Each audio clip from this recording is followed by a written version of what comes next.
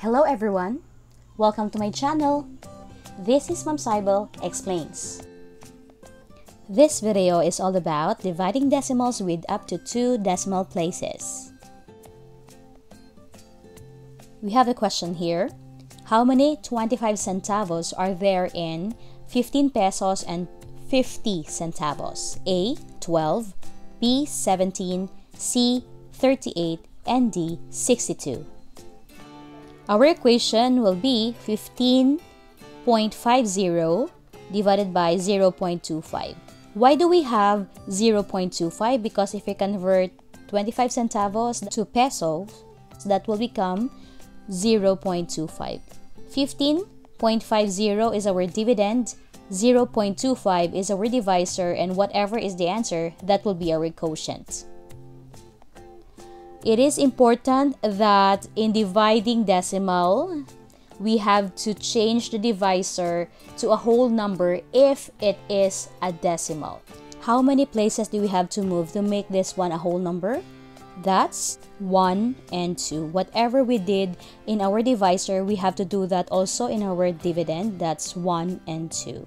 Our new equation will become 1550 divided by 25 is equal to blank.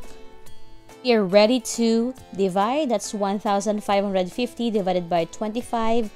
We'll try 6 if there are 6 25s in 155.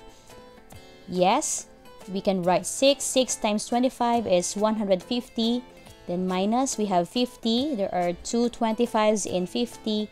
Then our final answer for this question is 62. Therefore, there are 62 25 centavos in 15 pesos and 50 centavos.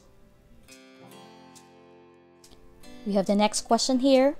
What is the quotient when 44 and 72 hundredths is divided by 20 hundredths? Is it A, 222 and 6 tenths, B, 223 and 6 tenths, C, 233 and 6 tenths, and D, 333 and 6 tenths. Our equation is 44 and 72 hundredths divided by 20 hundredths. Since our divisor is a decimal, we have to change it into a whole number. We have to move two places in our divisor and as well as our dividend.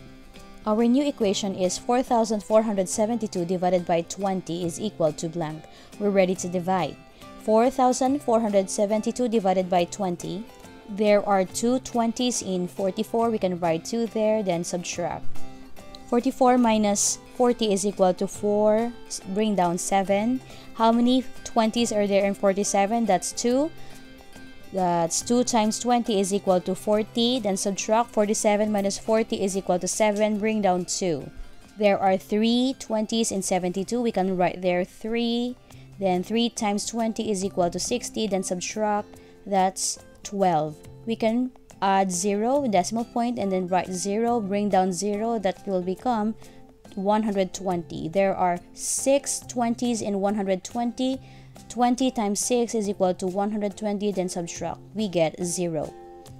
Our final answer for this question is letter B. That's 223 and 6 tenths. We have another question. A big package weighs 2 and 10 hundredths kilograms. If Mom Hazel decided to pack the contents into small packages of 7 tenths kilograms each, how many packages will she make? Is it A, 3 thousandths, B, 3 hundredths, C, 3 tenths, and D, 3? Our equation for this question is 2 and 10 hundredths kilograms divided by 7 tenths kilograms is equal to blank. We have one decimal point our divisor. We have to move also one in our dividend to make it a whole number. Our new equation is 21.0 divided by 7 or simply 21 divided by 7. We're ready to divide. 21 divided by 7 is equal to 3. It means our final answer for this question is letter D. There are 3 packages of 7 tenths kilograms that Mom Hazel will have.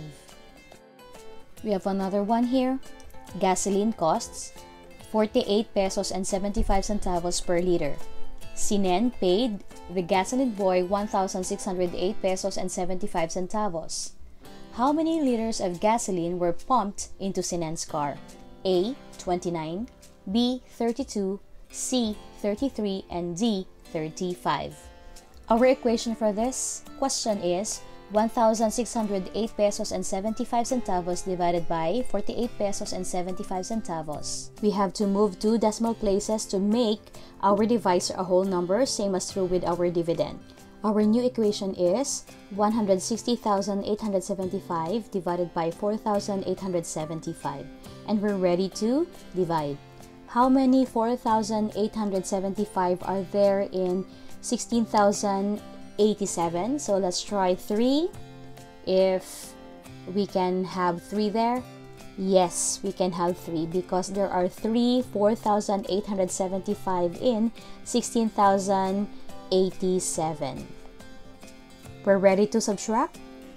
Okay we still get the same number that's 14625 so we can write 3 Next, 3 times 4,875 is 14,625 then subtract. It means one thing, our answer is 33 and that is letter C. There are 33 liters of gasoline were pumped into Sinen's car. Now, it is your turn to solve. Please write your answer in the comment section. The question is, how many 15 hundreds are there in 675 thousands. I'll be waiting for your answer. Thank you.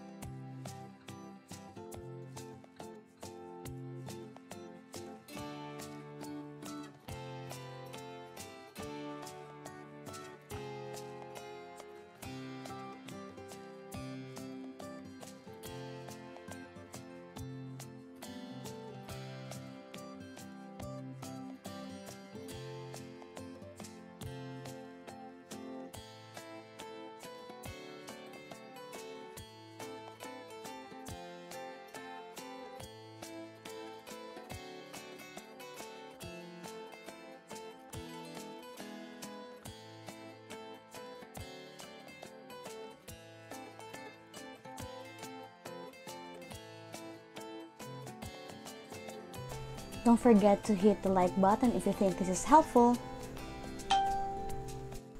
Till next time!